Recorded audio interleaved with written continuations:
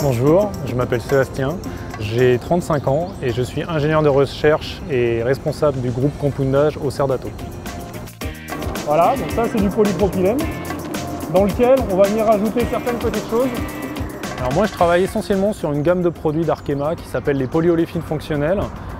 Une des applications principales se situe dans le monde de l'emballage alimentaire où en fait pour conserver le plus longtemps possible les propriétés des aliments, on utilise de plus en plus des films qu'on appelle barrières à l'oxygène.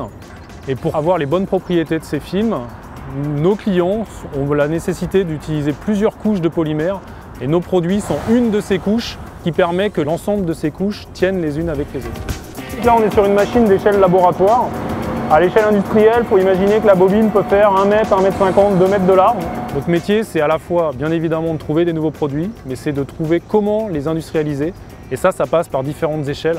Bien évidemment, on ne passe pas des quelques grammes du laboratoire à quelques tonnes de l'usine. Il faut d'abord préparer le produit euh, à tester, donc ça c'est vraiment ma partie. Je vais apporter des nouvelles propriétés au produit à tester. Et derrière, des gens vont l'utiliser, fabriquer ces fameux films multicouches. Ensuite, des personnes vont les tester, vont tester ce qu'on appelle les forces de pelage, l'adhésion entre les couches, de manière à voir si on s'approche ou pas du cahier des charges du client. Donc c'est ça qui m'attire euh, au quotidien, c'est de répondre à des problématiques concrètes du client. Alors une entreprise comme Arkema, la force pour moi euh, en tant qu'ingénieur de recherche, c'est la diversité de ce qu'on peut réaliser, la diversité des produits, la diversité dans le cas des polymères techniques, la, diversité des gammes de polymères, on voit énormément de choses.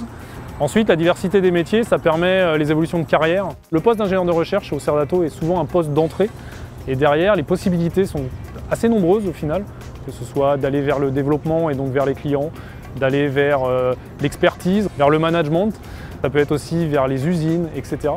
Et on découvre tout ça au fur et à mesure. Et comme on travaille en équipe et qu'on côtoie ces gens au fur et à mesure, assez rapidement, en quelques années, on voit vers quoi on a envie d'aller. Et on peut imaginer des changements de poste tous les 3, 5 ans, 7 ans en fonction des, des motivations de chacun. Arkema permet ça et nous suit par rapport à ça.